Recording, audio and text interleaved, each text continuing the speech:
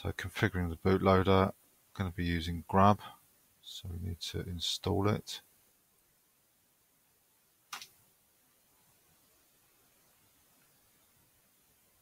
So there's a few extra tools get pulled in with that one.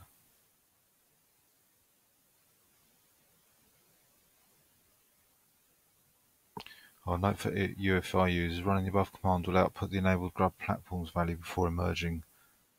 When using UEFI capable systems, users will need to ensure grub platforms is enabled.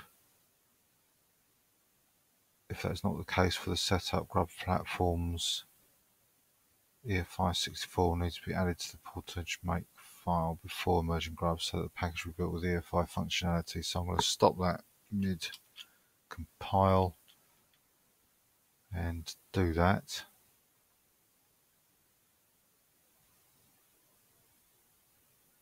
So if I rerun,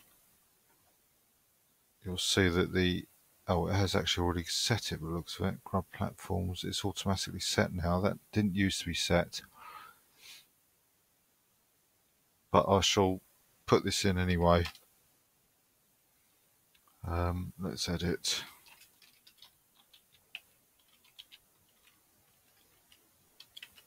this and put this in manually. Let's put it somewhere down here.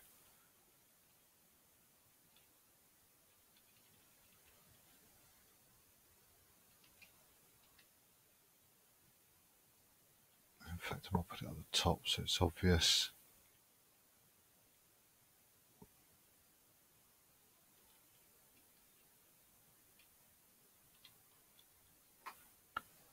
So let's put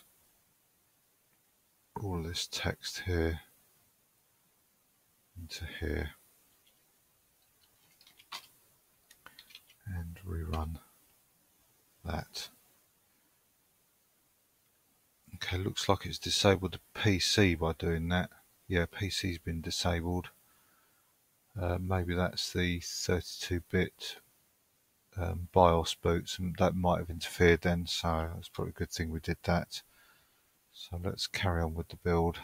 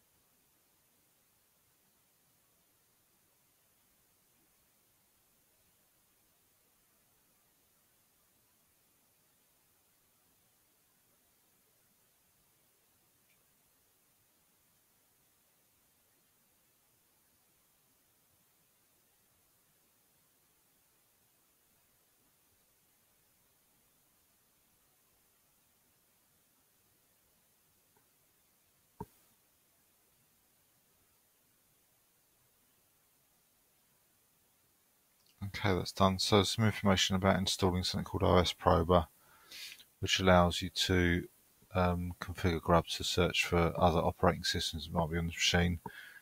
So this is only going to be the only one on here, so I don't need that. Uh, I've got some news items there. Let's eselect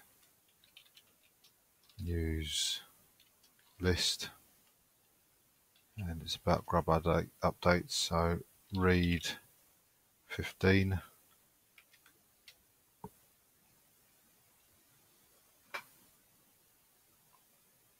And it's basically saying when Grub's updated that the um, install files should be installed each time, which is what we're about to do, um, just so that there's no mismatch with the files. And some other information in there as well. So for DOS legacy systems, it's just that simple command. For UEFI, it's slightly different.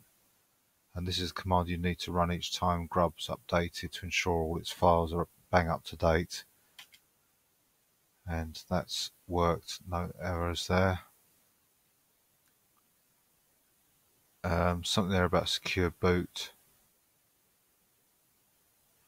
But there's some possible technical issues there by the looks of it, so it's probably not advisable to use Secure Boot just yet, at least not with Grub.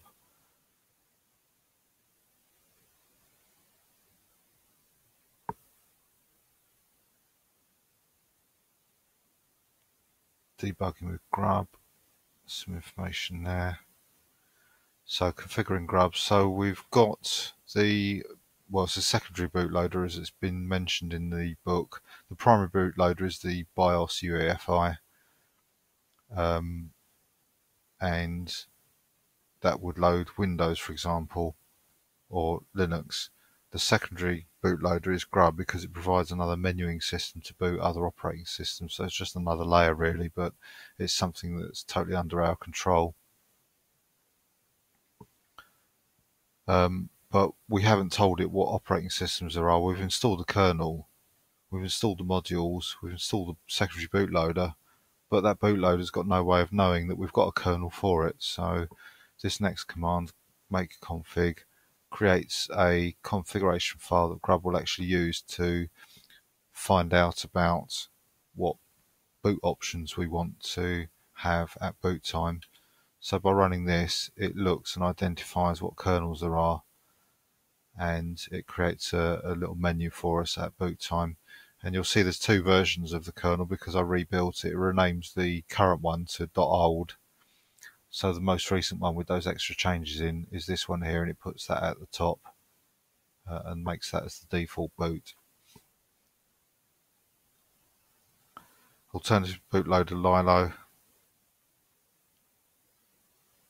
Um, EFI stub syslinux as well, systemd boot, and again secure boot probably with systemd, and that looks like that should be it. So we've got just about everything installed. We should be able to boot into the system now. So I'm going to do, well, let's exit this window here first of all. Exit that. Run this command to, let's do CD first, to unmount all the file systems we had mounted.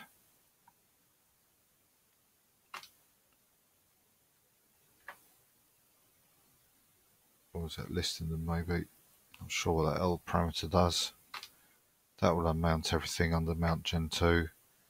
And in theory, if we reboot now, we should be able to get into our new system so let's just have a look at finalizing. There's a few things here to do, which we can do once the system's up. So we're just at the end of the chapter.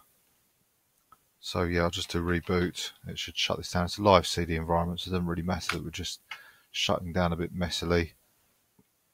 When it comes up, I'll pull out the USB